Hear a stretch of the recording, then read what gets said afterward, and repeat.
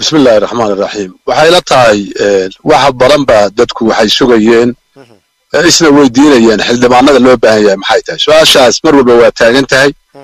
Waxay ka taagan tahay mujtamac walba oo jira soomaaliya waana hadal hayaan. Dadka maanta inay noqdaan dad waddankana wax tari kara dalkana wax tari kara dadkana wax tari kara. Waxaan filayaa marka dee hadday ku dhacdo siyaabihii hore wax loo dooran jiray oo runtii mar walba ay ahayd wax aan u laaqi u ahayn ummadda soomaaliya iyo dadka soomaaliya inay ku yimaadaan dadku. Runtii waxaad moodaa taasu inay tahay wax in la iska weydiiyo. Number one waxaa loo baahan yahay sidan la soconnaba dee waddankaanu inagu maanta kuma jirno doorashada haddii xataa laga hadlayo one man one vote mayna gaarin. Wixii la haabinayay ahayn oo dowladihiisa soo bedelay laga sugahayey oo runtii gabay inay hawshaas qabtaan. Balse waxa weeye maanta waxaa muuqata in loo baahan yahay maadaama weli four point fiveki lagu jiro wax la garan karo dadka in muxuu ahayto wax lagu magacaabo oo dadka masali kara. Weli la soconnaa hadda arrintaas socotaa maamul goboleed maaha waa federaal. Dadka la doonaya inay wax ka noqdaan. Iyadoo laga duulaya marka four point fiveki maadaama weli lagu jiro dad aqoon leh oo xilkas ah oo muxuu ahayto aan ahayn dadka wax ku raadinaya dhaqaalaha waa wixii soomaaliya burburiyeen ama nin bursi ama nin jeclaysi waaba iska magacaaban yihiin dadka. Ama aqalka sare ha la yidhahdo ama aqalka hoose ha la yidhahdo maanta puntland ama soomaaliya dhammaan waxa ka socota. Dad magacaaban oo markaa laga filayo inay qolo u voteeyaan ama qolo ay raacaan weeye. Ma qaba anigu taas. Waxaan qabaa waddanka waxa wax ugu yaal.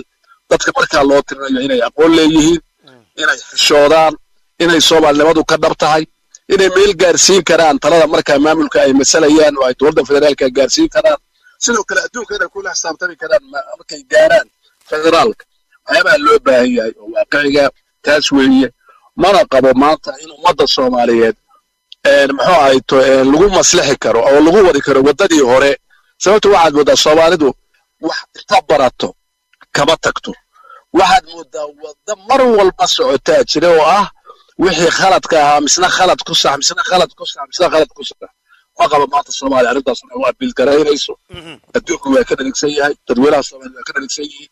Waxaan qabaa dad aqoon leh oo ilaahay yaqaan oo soomaali ah oo aan laaluushiya qurun ku jirin in la qabto. Waxaana u sababaynaya anigu arrintaas u sababaynaya oo aan aaminsanahay soomaaliya hadday hub ka dhacday inay mas'uul ka yihiin dadka loo tirinaya ama isma inay yihiin ama culimo yihiin ama waxgarad yihiin waxaa loo baahan yahay inay doortaan dad ummadda u qalma inay doortaan. Hadalka waa ku celinaya anay repeat. Taas ayaa waaya maxaa la isdhihi karaa ama maxay kaga duwanaan karaan dad dabcan xildhibaanadan hadda la sharaxayo ama la dooran doono kuwii hore? Maxaa isbedelo adiga kuula muuqdo ma dhinaca dhalinyarada janiska la siin doonaa maadaama xubnihii hore ee xildhibaanada soo maray ay u badnaayeen dad aan dhalinyaro ahayn. Waxaan u fasirtay hadalka. Su'aasha qaybtii dambe waga go'day ma maqlayn balse waxaan u firsatay maxaa laga fili karaa dadka xildhibaanada noqonaya ninbaa waxaa laga sheegay waa yeel waa kuba waa inagoo aan isyeelyeelin waxaan aaminsanahay xildhibaanadu waa inay ahaadaan da anigu muxuu ahayte age ku xira mayo dhalinyaro gooniha ku xira mayo weynaan ku xira maayo ilaa extream ah. Waxaan ku xirayaa dad u bisil siyaasadda soomaaliyeed.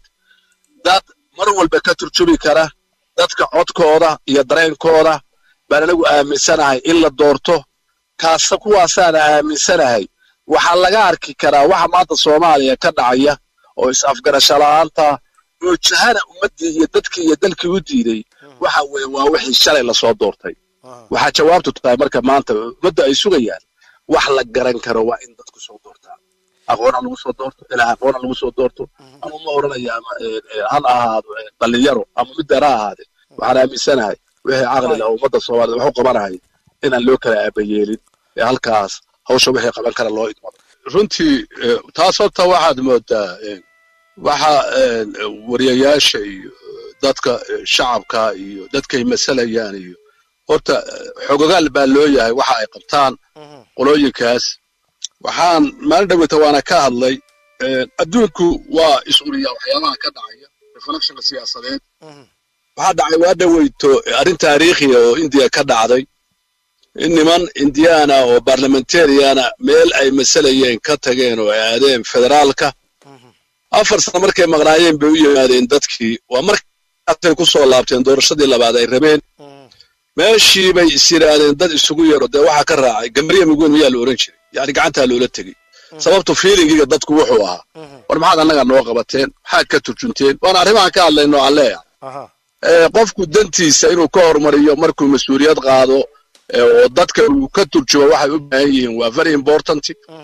Waxaadna moodaa soomaaliya maanta ma maraysa meel la yidhaahda iigu celi. Ma garanaysaa waa dhibaatada jidha weeye. M b baan ahaya waa ku noqonayaa waxbaan aruursanayaa. Waxyaabihii hadalkayagu haddana aan jeclaa inaan ku celcelina wuxuu ah nin lacag qaatay lacag baxashay dee lacag waa qaadanaya soomaaliya dhibaatada jidhaa walaala waxa weeye waa igu badisaa. Waxaa la yidhahdaa gaaladu money is something but not everything. Lacagtu waa wax laakiin wax walba maaha dadka waxay u bateen materialisti dad yacni aaminsan dhaqaale aaminsan oo gabay dareenkii diinta oo gabay dareenkii dadnimada oo wax walba gabay. Marka waxaad moodaa marxaladda maanta la maraya taas weeye taasna waxaa loo gaashaaban karaa in dad marka ugu horraysaba aqoon diineed iyo aqoon soomaaliyeed iyo aqoon garashale la doorto. Waxaana ka dareemi karnaa oo anigu runtii aan leeyahay mar koowaad iyo mar labaadba waa ku celinaya. Inay maraykan furta ku odnaan doonto dadka soo agaasimaya guddiyada loo dhisayo qaabka loo qaybaynaya xildhibaanka mid taariikhiga ka noqonaysaa soomaaliya oo dhan sababta soomaaliya meel walba ay jooga maanta ishay ku haysaa waxyaabaha soconaya. Marka waxay sababsanaysaa ninka isimkaabay sababsanaysaa dowladday sababsanaysaa waxgaradkay sababsanaysaa wadaadada iyo culummaday sababsanaysaa. Maanta waxaan aaminsanahay ishu inay dadka ay hayso mas'uuliyiinta oo loo tirinayo dadka inay xukumaan. Magac walba ha lahaadeen meeqaan walbana ha joogeen. Marka waxaan qabaa keliya inaan keliya looga harin xildhibaanadu waxbay qabteen iyo waxbaysan qaban la xisaabtanku wuxuu ku imaanayaa waxa maanta waddanka ka jira. Hadday siyaasad tahay hadday tahay nidaam hadday dhismo tahay hadday sharci tahay hadday cadaalad tahay taasaa lagu qiimaynaya sababto waxaa weeye waxay u ahaayeen sharci dejin bay u yihiin. Marka dadku halkaasay ka ifaala qaadanayaan waxa socda hadday wanaagsan yihiin dee hala taageero waa lagu soo wada celiyo haddii xaalku maanta sida aynu u jeegno soomaaliya o dhan ay tahay oo ay gabeen mas'uuliyaddoodiina adana waxaan aaminsanahay weji hala keeno ummadda masali kara oo dadka masali kara oo ilaana raalli ka noqon kara ummadduna raalli ka noqon horta waxaan rabaa inaan mid ku daro odayaasha ka wada hadleen kii ugu dambeeyey iyo odayaashii kaleba waxay ka hadleen arrintii ahayd one man one vote. Arrinta one man one vote waxaa ku jira hadalkaygii in weli lagu jiro yani marxaladda aan la gaarin oo dowladihii hore oo runtii loo idmaday aysan arrintaas yani meel ku salayn waxaase maraykan loo baahan yahay oo muhiimaddu tahay ama dhaqaale ha noqoto ama mideer ha noqoto waxyaabahan ay eersadeen embiyadu waxaad mooddaa in ummaddu ka siman tahay hadda dareenkoodii ay ka muujiyeen mid xamar aada iyo mid gudaha jooga iyo mid laga doorto local. Marka waxaan aaminsana horta arrintaas in dareenka loo baahan maanta ummadda la gaarsiiyaa inay tahay war dadku intaa ka badan uma dulqaadan karo arrintaas waa ceeb.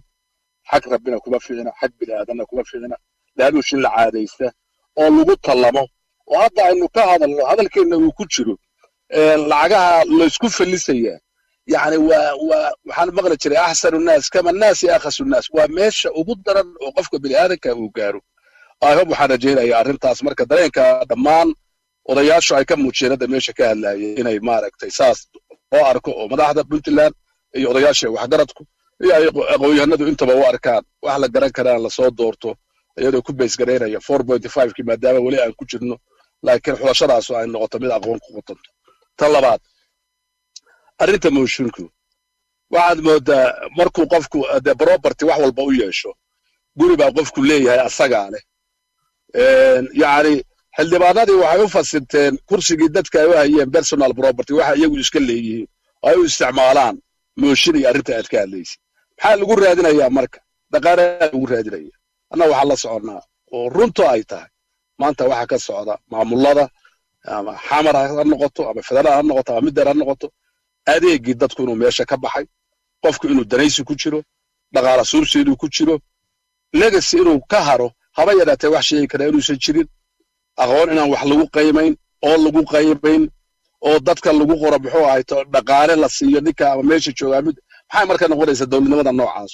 Moosinku taasuu la mid yahay waxyaabahan lagu hirgelinayo ee la keenayo qodobadan ama baarlamaan wax laga bedelayo ama aan laga bedelayo waxa weeye marka ugu horreysa wixii asaasigaa dadku inay qabtaan oo lagula xisaabtamo weeye biyadu. Ay hirgeliyaan. Waxbarashada inay ka hadlaan biyihii inay ka hadlaan caafimaadka inay ka hadlaan. Meelaha loo baahayo dadku ku soo baxo asaasiga meelahaas weeye oo qofka siyaasaddu lagu jahayn karo. Hadda ilahay waxaan uga baryaya waan uga barya waan uga barya ummadda inuu ilaahay dareensiiyo inay ilmahooda ka fekeraan. Ma ahan markaan leeyahay anigu arrimahaas hala qabto macnaheedu ma ahan today. Laakiin waxaan ka hadlaya kan mbiga iyo kan macallinka iyo kan kaloo waxgaradka iyo kan isimka iyo dhammaan carruurtoodii baa u aayaysa haddii hadalka sii wada guray ee khadkaa go'ay say la tahay.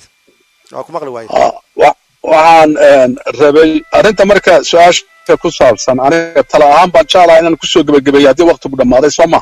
Waa inoo socdaa waktigi waxbaa inoo haray weliba dhowr toban daqiiqa inoo haray marka su'aasha ku saabsaneed maxay arrintan ka hadlayna waxa ahayd soo ma ahayn.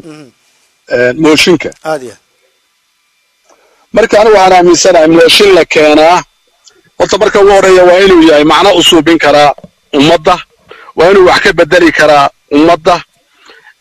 Taasaan anigu aaminsanahay in markaasu muxuu ahayto oo weliba la dareemi karaa laguna xisaabtami karaa.